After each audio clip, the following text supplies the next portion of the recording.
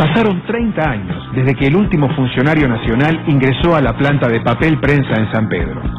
El mismo tiempo transcurrió desde que ingresó la última cámara de televisión. Y claro, no están acostumbrados. Por eso no querían dejar entrar a las cámaras de bajada de línea. Cerrá. No. Nos vas a poner en una situación violenta. Exactamente. Bueno, vamos.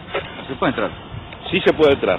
La persona que quiere permitir el ingreso es el ingeniero Pablo Serioli. Los empleados de seguridad responden a la dirección de la compañía que controlan Clarín y La Nación. El accionista está autorizando entrar a la prensa. Tenemos que terminar con el oscurantismo. Muchachos, no se pongan en un lugar donde no les corresponde. Discúlpame, discúlpame.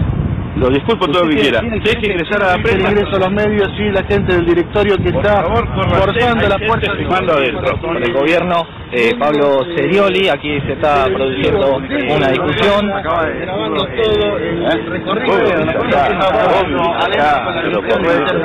Exactamente, y tengo que hacer lo que tengo que hacer. Bueno, pero tiene Los otro medio. Todos los medio medios me para lo están impidiendo. ¿Y qué quiere que haga? de la planta. Ahora bien,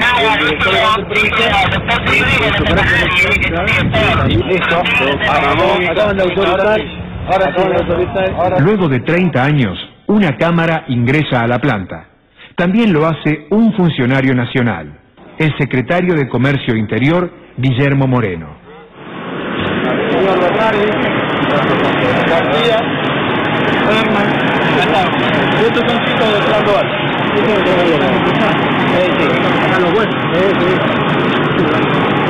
Veo las novias de los muchachos bonitas.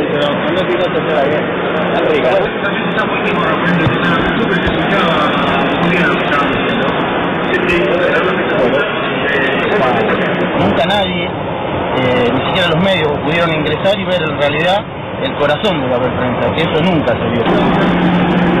Moreno preguntaba un montón de situaciones donde vio alguna falencia de mantenimiento. cultura se la ve bien, ¿no? Media sucia, pero la- las intenciones del Estado eh, para papel prensa son, son, son las mejores. Durante muchos años no, no, no, no dejaba ni siquiera entrar al, secretario general del gremio, por ejemplo, a la planta. Eh, eran muy discriminados lo- lo- los delegados de, de- planta, la, gente de comisión directiva. Entonces, seis años atrás esto viene cambiando, viene cambiando y yo creo que es el camino.